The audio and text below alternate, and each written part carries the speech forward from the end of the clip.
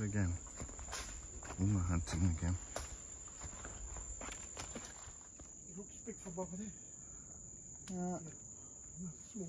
And there, and there's Shiruma. Ooh, eating. Or I I guess it also looks bigger from afar. There's a big one. Looks kind of. Get closer to Is it small? No. That's a good size. Good as us. Is that the better size, Uncle? Let me see. Oh yeah. Oh, nice size one. You wanna hold it, bud? Uh, Does it go? Yeah, yeah. Do you want to hold it, Mom? Yeah, Lisa, try it. Hold it from the back. Okay. So you kind of get a feel of it. I know.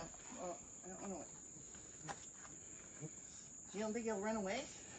Well, if you I No. know. Just give it a strong, just give it a strong grip. From the back. And then, go. there you go. Here, turn around, Lisa. Ooh, she got her first little big size. Ooh, okay. Put it in the sack. Give it a shake.